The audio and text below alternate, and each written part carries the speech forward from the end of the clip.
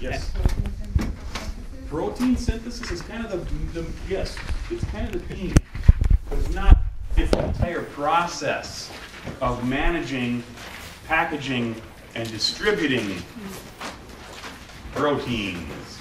Right. So you're right. I would say. Starts off in the nucleus. Nucleus produces the RNA, releases the RNA into the cytoplasm. Sweet. Cyto, in the cytoplasm, ribosome jumps on, these, on, If there is the right signal code, which is at the very beginning of the protein, if, say, it's mucin and it's going to be secreted, recognition particle grabs a hold of it, carries it to the ER, and then binds it to the ER. On the ER, it can either become woven into the membrane or go through in, into the lumen. Once inside the lumen, then it may pinch off, right? And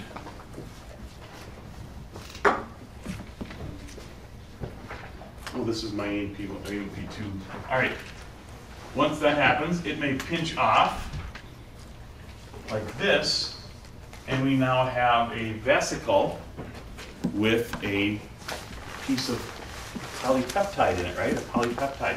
Not a functional protein yet. And isn't that where we left off? Right. Now, the reason why I'm emphasizing that endomembrane system is because it allows you to uh, connect nuclei, smooth and rough ER, ribosomes, RNA, which isn't an, an organelle, but it's there, the endoplasmic reticulum, vesicles, and coming up next, what we're going to start with.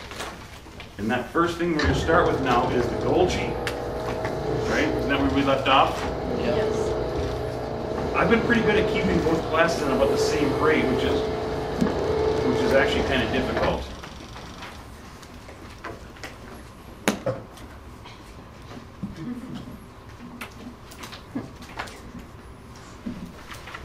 So Van White. All right, where are we at here? Signal class. Still on class. Cell. There we go. There we go. All right.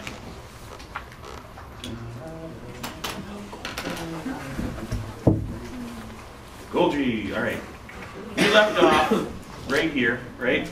There's the ER. There's smooth, no ribosomes. There's rough ribosomes, right? And if it buds off, we now have a transport vesicle. And remember, what is a vesicle? Is that really anything specific? No, it's just like a bubble. It's a membrane bubble.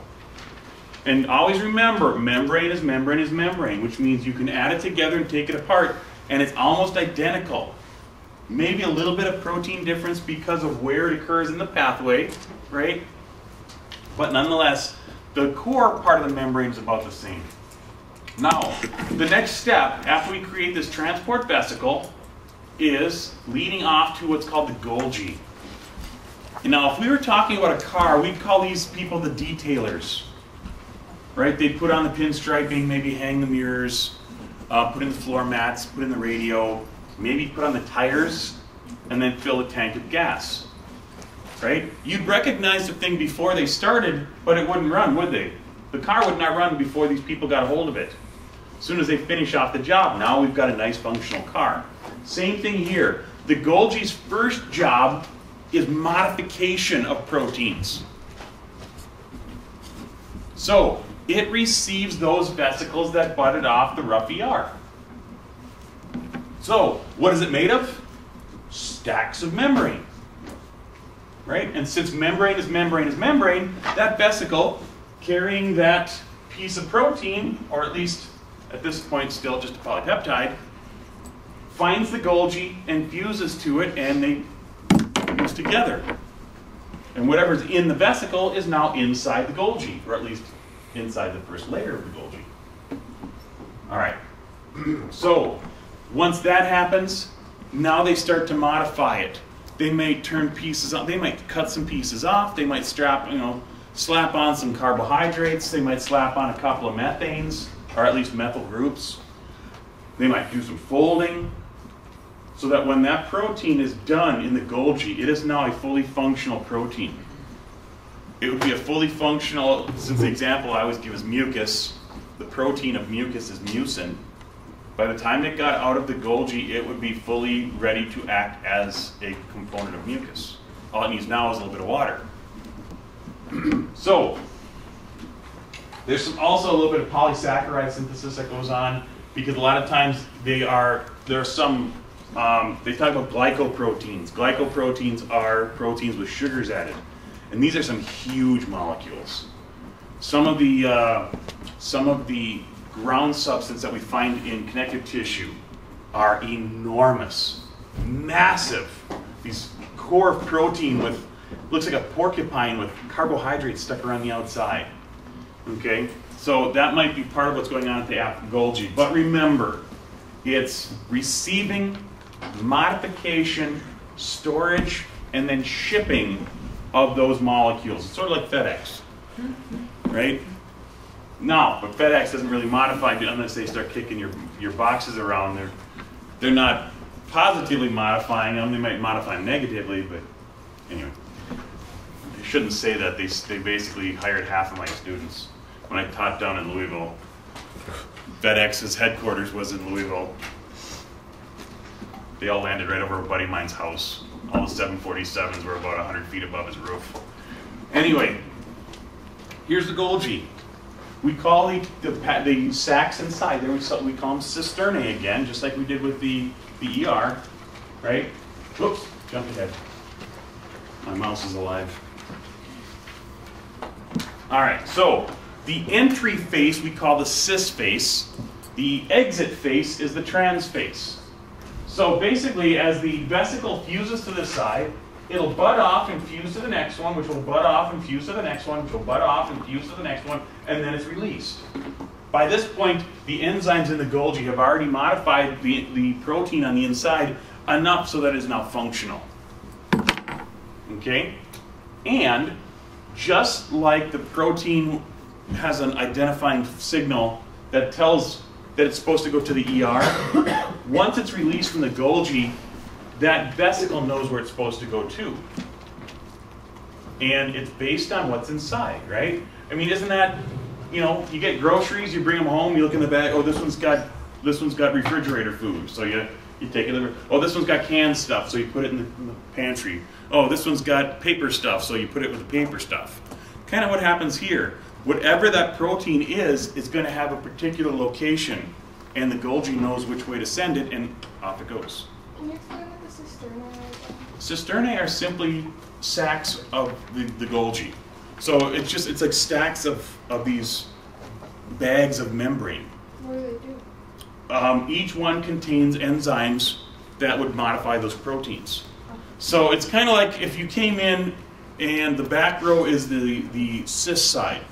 You'd sit down and work for a little bit, all of a sudden you'd move to the next shelf, next move to the next table, then move to the next table, then move to the next table. All the while you're being modified by by me. And no, um, and finally you get to this side, you butt off this side. As soon as you butt off this side, then you leave. Okay, so it's just a constant, like a step by step by step process as these things are easing through. Okay, so structurally speaking, it's really not easy to tell this from the ER. So that's why I like the color-coded ones.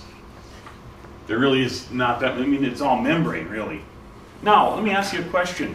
If the Golgi is kind of one of the final states of modification for proteins, you kind of get the idea that if a cell is going to be producing a lot of proteins, they're going to have a large Golgi. On the other hand, if a cell does not make many proteins for uh, secretion, it will only have a small Golgi. Like things like mu uh, muscle cells. A lot of proteins, but they're kept inside. So they're not necessarily going to be secreted or become parts of membranes. All right, so they wouldn't need a large Golgi.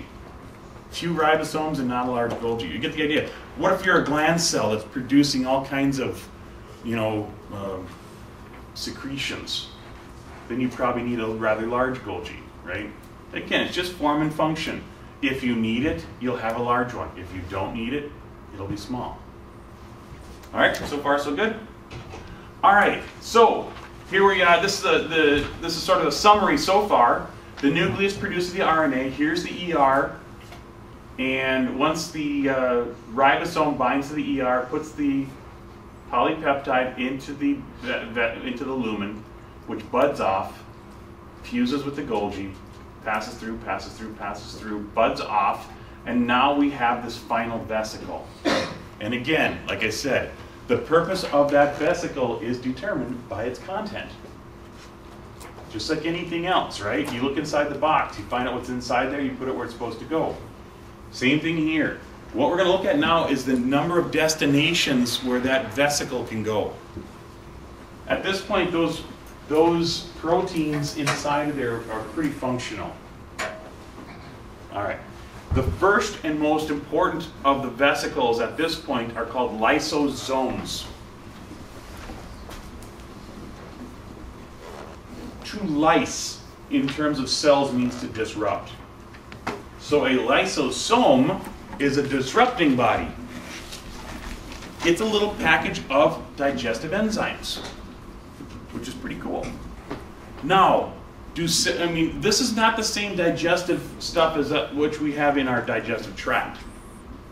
In that situation, that would be excreted. Sorry, that would be secreted. The pancreas would create a lot of it and secrete it into the lumen. We have some digestive enzymes in our saliva. Okay, and again, every time you mix it with food, it starts to break down the, the chemicals. This would not be the same thing. Yeah. Absorbing and secreting, right? Absorbing taking in, secreting is giving off for a purpose. Excreting is what you'd refer to as waste. All right, so excreting and secreting, are, I made the mistake of confusing those two. So um, excretion is a process of getting away waste. Secretion is like what glands do.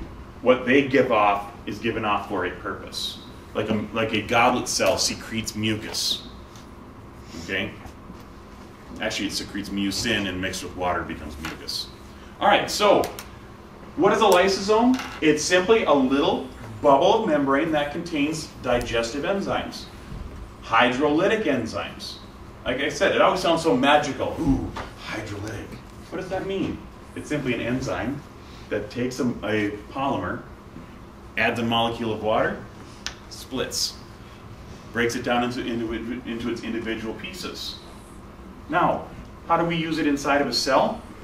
Well, let's say a, a cell takes in a, a particle of food. This is actually called, if it's small enough, it's called endocytosis. If it's large, it's called phagocytosis. it's easy for you to say. Phagocytosis. Have you ever seen the blob from the 1950s? The blob would eat by phagocytosis. It would engulf. Well, the blob would also take your car, your dog, your neighbor's house, you know, half the town, and it would just kind of ooze and engulf. That's what cells do.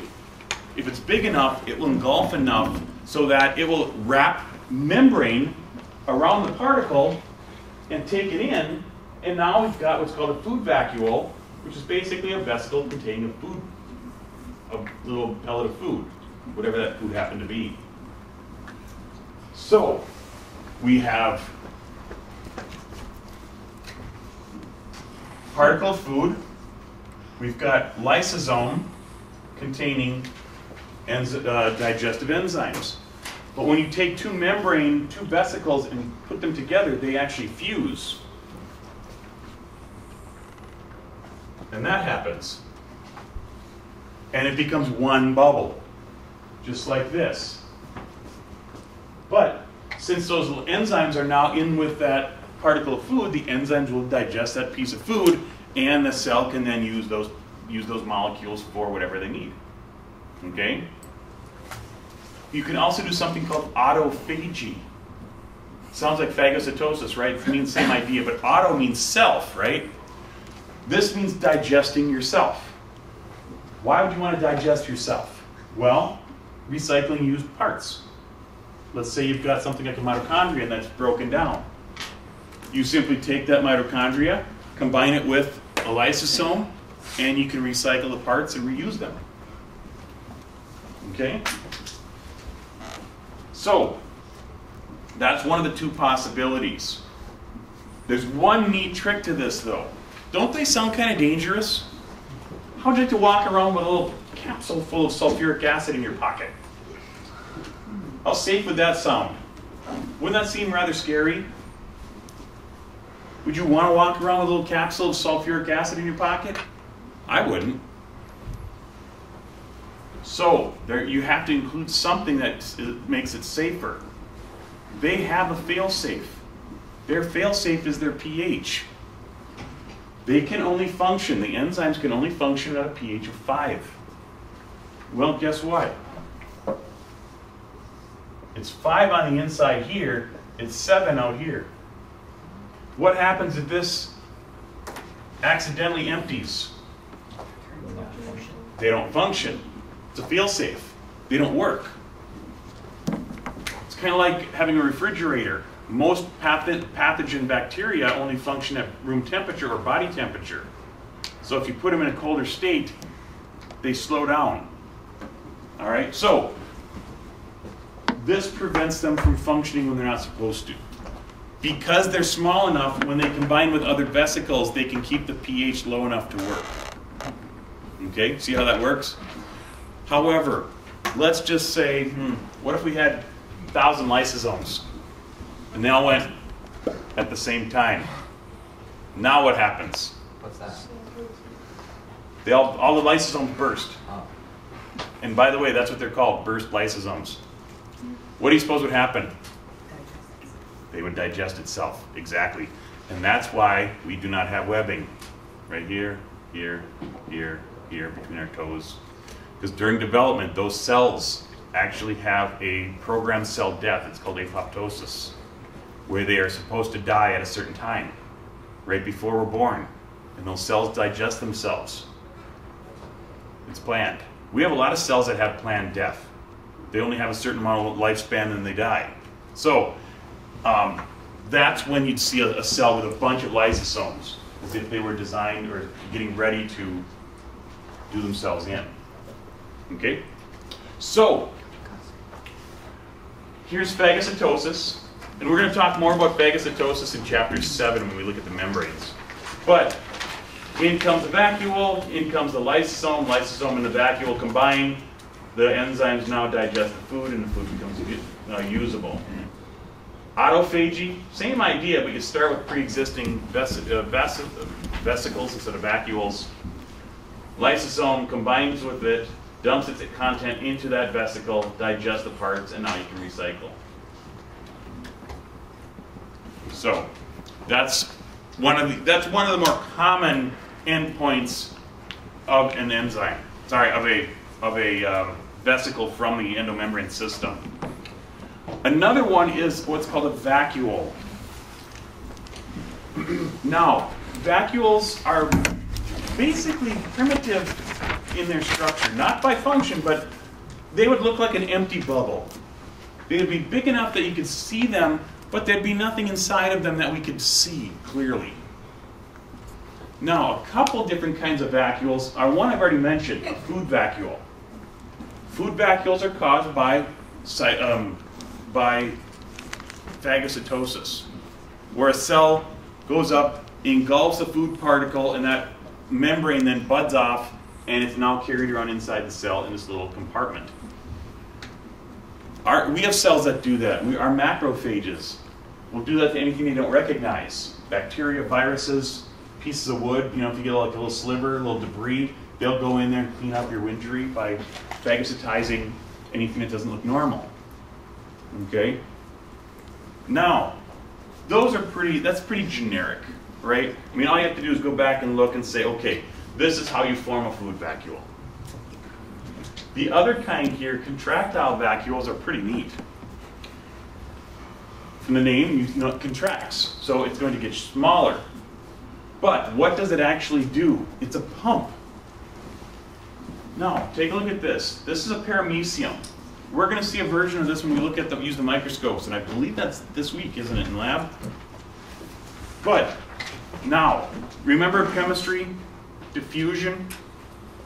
Diffusion, things will spread out, molecules will spread out, right? Well, water does the same thing. Water wants to spread out. Water wants to go where it is more concentrated, meaning it wants to move to a place where it can dilute the surrounding material. So in the case of a cell like this, if you put this cell in fresh water, what's going to happen?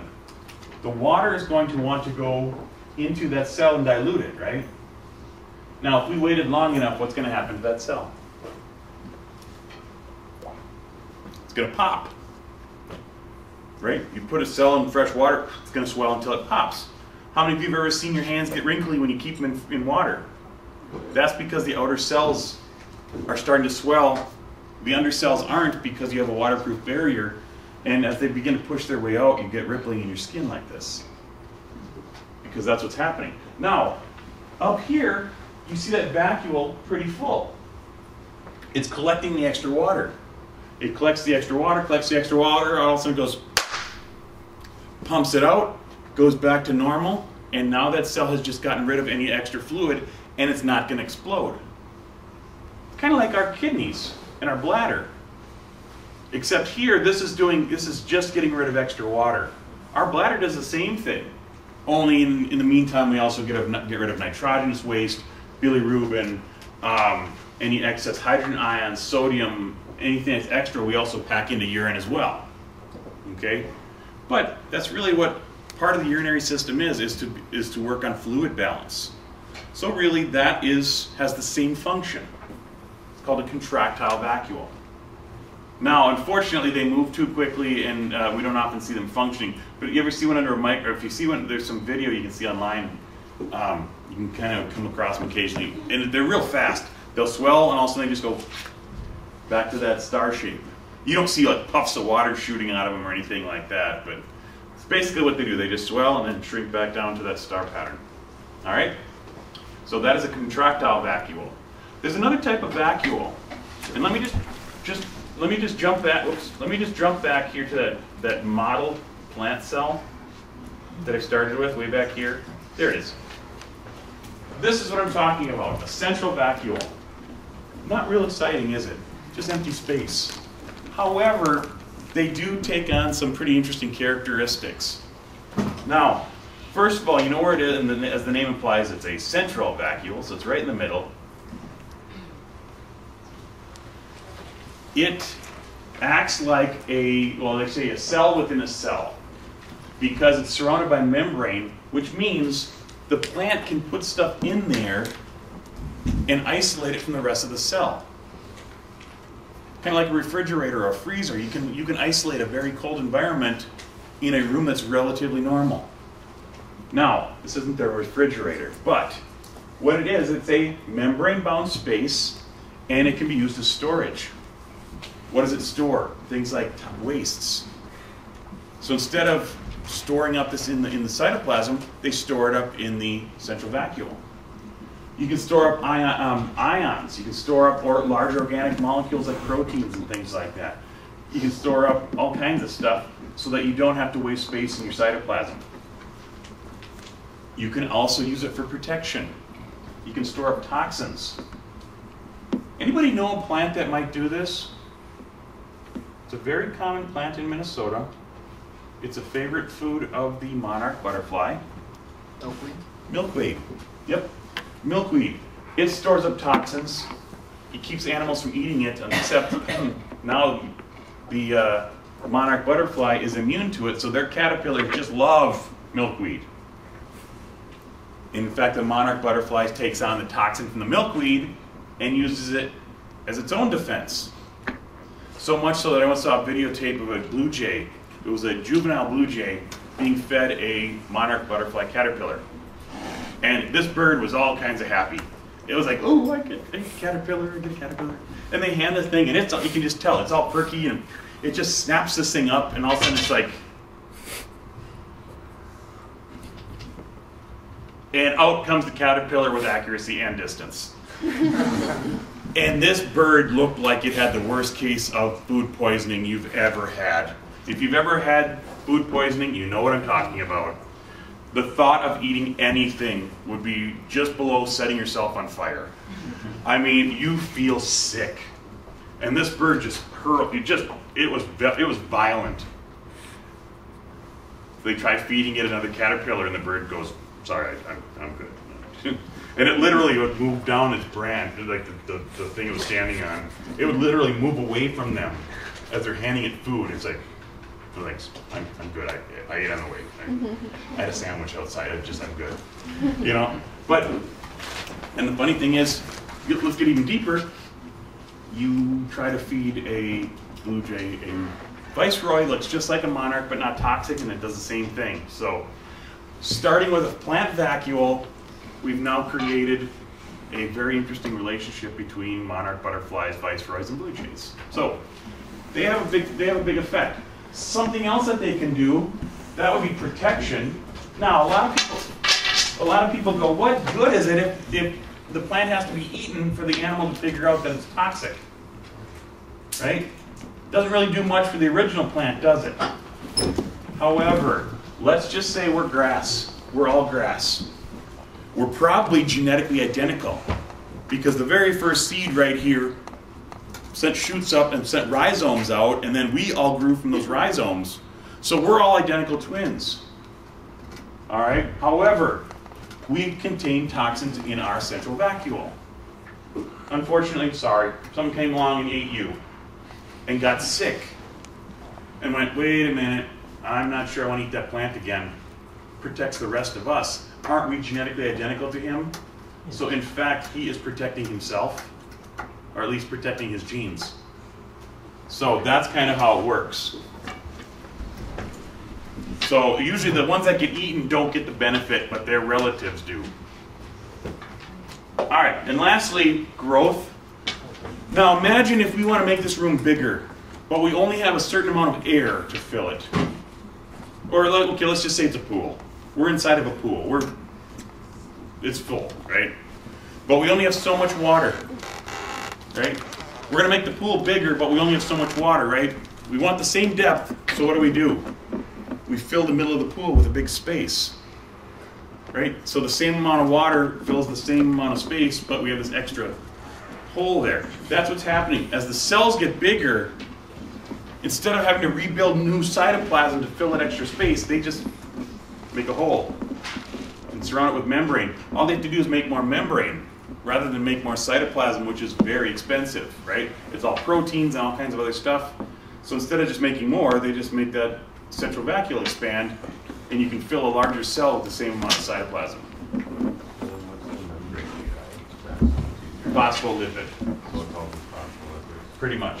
There'll be a little bit of protein involved in it, but cytoplasm is is much more complex and would be much more energy consuming. I wasn't sure if it would have protein in it. Yeah, there's a lot, a lot of stuff in the cytoplasm where it would be, it would cost a lot more energy to make that. Why would the cell want to expand? Just get larger. Cells just get larger. Um, uh, when we do the microscope, you'll actually see, like on the plant cells, when they divide, they're small, and then as you look up the, the root, they're much larger. So just the mere, the mere act of, of growth. All right, moving right along. So, I mean, take a look. This is the model, but I mean, this is actually an, a micrograph of a plant cell. Look how big that central vacuole is. We're looking at like a third of the plant cell is just empty space. Now, is it truly empty space? No, but it looks like it is. All right, so far so good. Now the last two are the coolest ones. No, these aren't the last two, but the next two I should say. now, to be part of the endomembrane system, you have to be in that chain of events, right?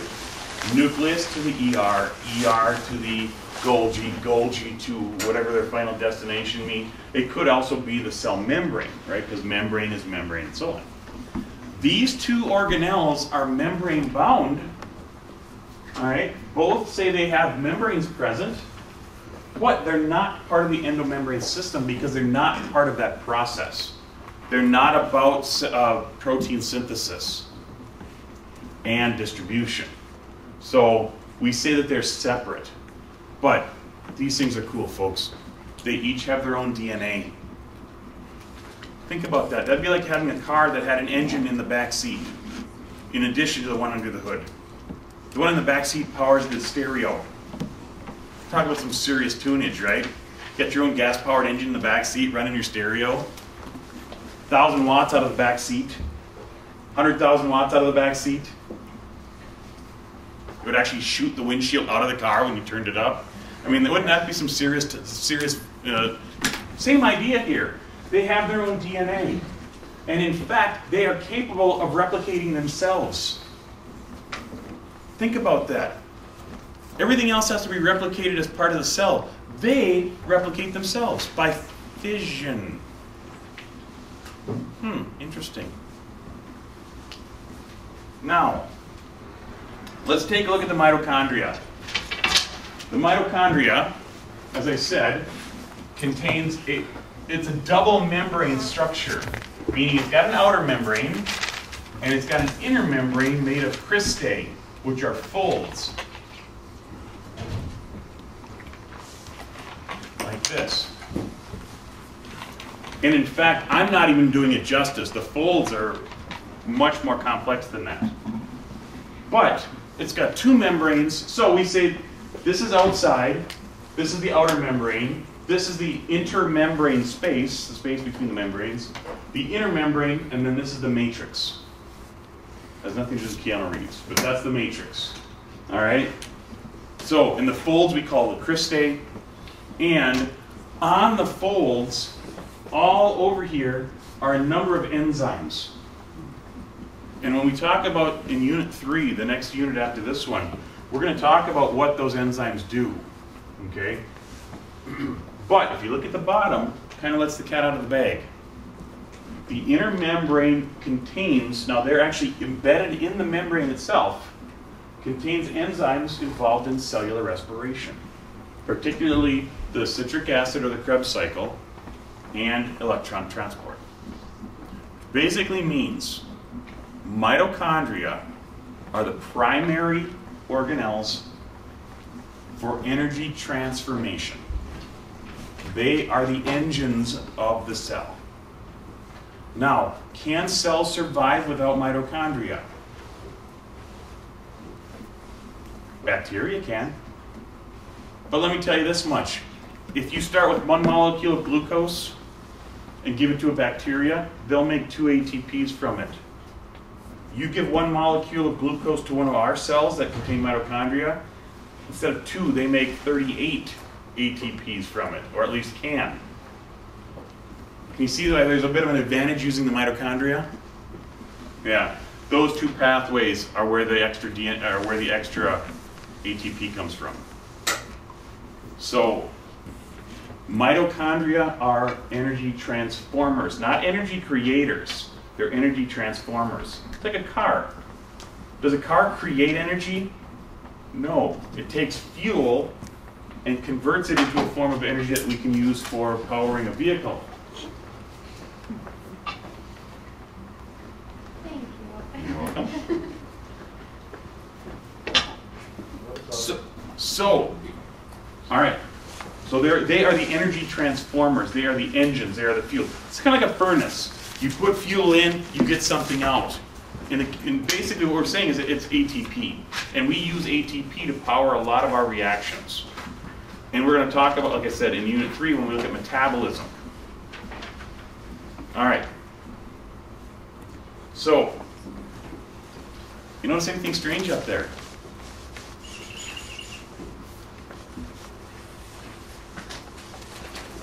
They have their own ribosomes.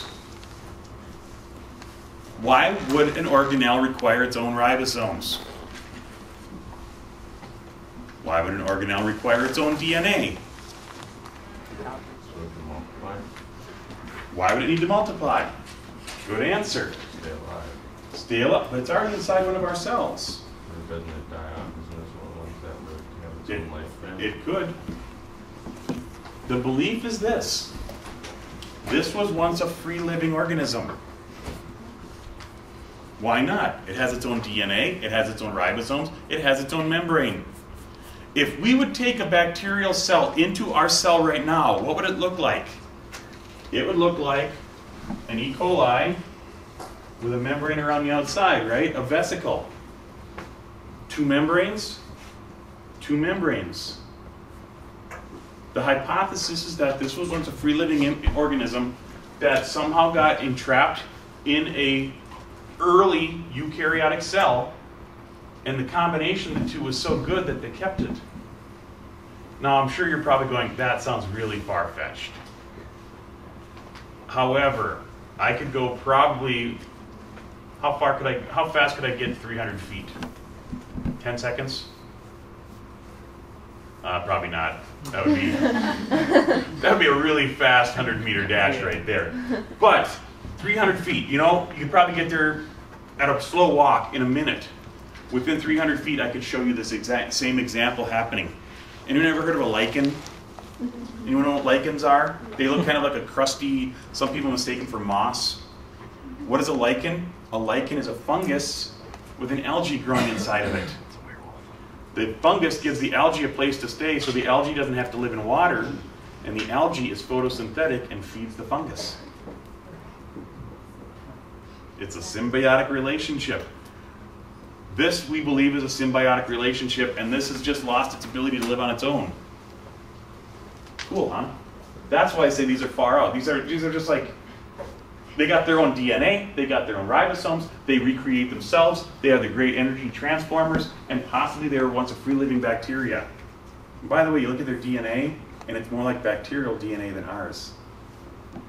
But they've been around so long that there's actually been exchange between nuclear DNA and the, and the ribos and the uh, mitochondria, so things have gotten kind of mixed up. Isn't that neat? Isn't that kind of a bizarre idea? Oh, and by the way, how many of you know a really serious dyed-in-the-wool chauvinist? The kind that, you know, women are only out there to serve men, and men are God's gift? we all know somebody like that, right? You could probably, ah, you don't have to give me a name, but you, you could probably name one, right? If you ever want to knock them off their pedestal just a little bit, ask them about their pink mitochondria. So no matter how masculine they are, they are composed of 100% female mitochondria. There is no such thing as a male mitochondria. And the reason is, during reproduction, oops, during reproduction, here's the sperm cell, here's the neck, and here's the tail. This is the only place where there are mitochondria in a sperm cell. This is the only part that fertilizes the egg. So the only mitochondria that you have, you receive from your mother. Which means we have one gender mitochondria. Because whatever it is, you got from your mom. So if you're going to just knock them up, I know it's a really big insult. You've got female mitochondria. that's just a stabber. That's just a that, that's really just cutting them to the quick, right? So anyway, but yeah, and that's why you can't do genetic testing to track a male line in a family because you can't. It disappears every generation. You can track the mother's lineage back a long time if you look at mitochondrial DNA. In fact, mitochondrial DNA is so cool that the FBI has their own mitochondrial DNA lab at the state crime lab. And it's the state, it's actually the upper section, which includes like Minnesota over to Montana. So all tissue samples that are being looked at with mitochondrial DNA get sent to St. Paul, which is kind of cool. now, the other of the cool organelles is the chloroplast. And by the way, I'll let, you, I'll let the cat out of the bag early. This falls into the same category. Got its own DNA. It's got multiple membranes. It's got uh, its ability to reproduce itself. Same thing. This is believed to have been a photosynthetic bacterium that was incorporated into a eukaryotic cell, and we now have plants. Because there are bacteria that, that behave just like chloroplast. Now, if you ever took a botany class, you would come across the word plast or plastid quite regularly. These are, these are kind of generic um, organelles found in plants. And the prefix just tells you what the purpose is. Like a chloroplast contains chlorophyll, which means they're green and are associated with photosynthesis. A chromoplast would be something that contained other types of pigments, other colors. An amyloplast contains amylose. Anybody know what amylose is? Starch. we will see amyloplasts when we look at uh, potato cells stained with iodine. We'll see little pebbles that look like they just look like black grapes, but they contain. So a plastid is a plant, kind of a generic plant vesicle. All right, so the purpose of chloroplasts, however, is they contain the green pigment chlorophyll. Now, a lot of people say, well, plants photosynthesize, animals respire. That's not necessarily true. Or it is true, but they're not opposites. The better way to say it is plants photosynthesize, animals eat. And once they both get food into the system, they both respire. Okay? So, the chloroplast has these pigments in it, which means it can take sunlight and convert it into another form of chemical energy and use it to build sugars. That's where our sugars come from. That's why we get sugar, we get sucrose from sugar cane. That's why we get sucrose from sugar beets. That's why we get fructose from corn. Because these plants can make sugar using sunlight as the source of energy. Okay? Now, in the case of chloroplasts, instead of looking like this, they have a three membrane system. You've got an outer membrane, an inner membrane, and then what are called the thylakoid membranes, which are stacks like this that are connected. But you can see there's three different locations, right? There's the inner membrane space. We call this the stroma, the, the stroma. And then you've got the thylakoid membrane space inside. So again, lots of chambers, and when you have lots of chambers, you have places where things can occur. And the same processes that go on here go on are similar to the ones that go inside of a mitochondria. So it's actually some pretty neat stuff, some pretty complex reactions. I mean, the, the um, one of the most complex that I've ever seen, and I taught biochemistry, was the regeneration step in photosynthesis to regenerate ribulose. It's incredible. Now it seems like a really easy math equation, right? You start off with three, five carbon molecules. Wait a minute. Oh, I got the other way around. Sorry. You start off with five, three carbon molecules, and you wind up with three, five carbon molecules. That doesn't sound too hard, does it? It's 15 carbons, it's just reshuffling. But obviously, nothing, you, you, you can't combine them, right? You combine two and you get six. How do you get five? Combine two and cut one off? No, that's not how it works. So it's a really complex process, but it's going on in these chloroplasts. And if it wasn't for this process, we wouldn't have sugars and we wouldn't have, what else? Do you know what else they make? That would be another food molecule, but it's something that's even more important to us. Oxygen. Oh. The byproduct, their waste product of photosynthesis is oxygen. Think about that. Without, without photosynthesis, we wouldn't have it. I said it. So obviously these had to come first and then the oxygen breathers came along after that. All right, so any questions? So that's what the chloroplast looks like. You got the two outer membranes, the outer, inner, and then the thylakoid membrane system. And these are all connected so that inside of these are also isolated from the space, the thylakoid space, the stroma space actually. Okay? And again, these are true color. So if you see under a microscope, you will see little green pebbles moving around inside of a plant cell. It's like red blood cells have true color, chloroplasts have true color, some chromoplasts have true color, but most everything else in cells are transparent. And lastly, this is another um, another membrane-bound structure. It's similar to a lysosome. The lysosomes contain digestive enzymes. Peroxisomes contain enzymes for detoxifying peroxides. And peroxide, if you remember from chemistry, is H2O2. It's a byproduct of lipid metabolism. And we metabolize lipids all the time. So we're constantly producing peroxide. And peroxide is very toxic. It's one of the big three toxins in our body. The three, probably the three biggest toxins are peroxides, superoxides, and hydroxy radicals. Have you ever heard of drugs called antioxidants? Mm-hmm. They are to fight those chemicals. Those are the oxidants, the oxidizers. I describe them as a bull in the china shop, right? They're going to destroy anything they run into. Pretty much the same thing with the oxidants. Those are three toxins that occur just because we live in an oxygen environment. Oxygen is actually a poison, but we have enzymes to take care of it.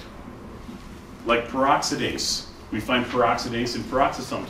Guess what? We'll be working with peroxidase in lab. It's actually not our peroxidase, but another, another type of peroxidase, but it's still there. Still the same thing. So, not only does it break down lipids, but it also breaks down the toxins that, occur, that occur because we broke down the lipids. So, that's what the peroxisome is for. It's a pretty simple reaction too. It just it converts it converts um, peroxide to water. And like structurally, there's not much to they're not too exciting. Now I'm going to stop right here. This is where we left off this morning. But one thing I want you to review when you're doing this is the cytoskeleton. Let me just tell you this: when I when I was in your seat, this was there was very little known about this. We thought the cytoplasm was more like broth in a soup, right? Almost a liquid, maybe a gel. Well, it turns out most of the internal structure in a cell is solid. It's a skeleton. There's actually fibers connecting these structures together. And this is probably one of the areas that has developed the most in the time since I was in this class. So look at them, microtubules, filaments, and intermediate filaments are similar, but they're definitely, they definitely have their own characteristics. All right, so look at that. We'll come back and touch on this on um, Wednesday. Any questions?